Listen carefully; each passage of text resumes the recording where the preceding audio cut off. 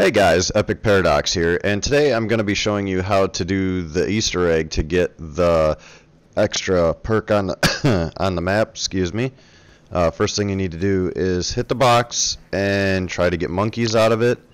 Once you get monkeys, you need to have all three mainframes or teleporters linked to the mainframe. Once you do that, you throw a monkey on each teleporter and then use the teleporter to go back to the mainframe. Now it's supposed to spawn a perk power up, or not a perk power up, a power up every time you do this, just like when you link them to the mainframe. Um, sometimes it glitches out and it doesn't give you one, I noticed, so that kind of sucks. Uh, but I suggest on doing this Easter egg that you should either have the dog around or make sure you have a crawler or only like a couple of zombies left. Don't do it how I'm doing it right here and have like a whole horde.